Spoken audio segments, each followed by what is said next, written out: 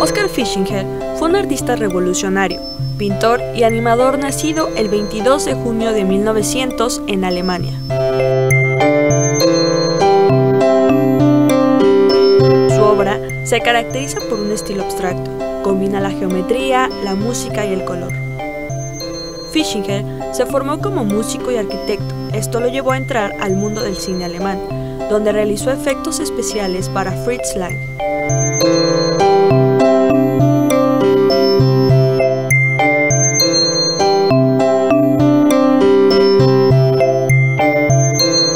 En el mundo del diseño, Fischinger es una figura imponente, especialmente en las áreas de motion graphics y animación. Escribió Leon Hong, creativo de Google.